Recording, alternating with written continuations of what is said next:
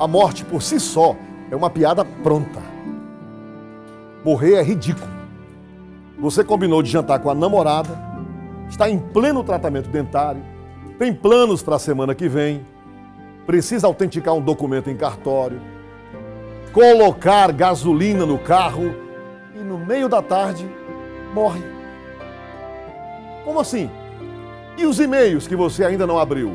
O livro que ficou pela metade? O telefonema que você prometeu dar à tardinha para um cliente? Eu não sei de onde tiraram essa ideia. Morrer. A troco de quê? Você passou mais de 10 anos da sua vida dentro de um colégio, estudando fórmulas químicas que não serviriam para nada, mas se manteve lá, fez as provas, foi em frente, praticou muita educação física, quase perdeu o fôlego, mas não desistiu.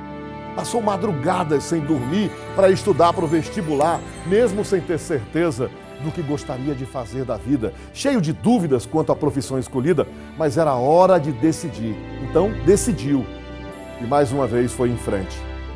De uma hora para outra, tudo isso termina numa colisão na freeway, numa artéria entupida, num disparo feito por um delinquente que gostou do seu tênis ou afogado. Qual é, hein? Morrer é um xiste. Obriga você a sair no melhor da festa sem se despedir de ninguém sem ter dançado com a garota mais linda, sem ter tido tempo de ouvir outra vez a sua música preferida. Você deixou em casa suas camisas penduradas nos cabides, a sua toalha úmida no varal e penduradas também algumas contas. Os outros vão ser obrigados a arrumar suas tralhas, a mexer nas suas gavetas, a apagar as pistas que você deixou durante uma vida inteira. Logo você, que sempre dizia: das minhas coisas cuido eu. Que pegadinha macabra. Você sai sem tomar café e talvez não almoce. Caminha por uma rua e talvez não chegue na próxima esquina. Começa a falar e talvez não conclua o que pretende dizer. Não faz exames médicos, fuma dois maços por dia, bebe de tudo, curte costelas gordas e mulheres magras e morre num sábado de manhã. Isso é para ser levado a sério, minha gente. Tendo mais de 100 anos de idade, vá lá, o sono eterno pode ser bem-vindo já não há mesmo muito a fazer. O corpo não acompanha a mente e a mente rateia. É, também já rateia sem falar que há quase nada guardado nas gavetas. Ok, hora de descansar em paz. Mas antes de viver tudo, morrer cedo é uma transgressão.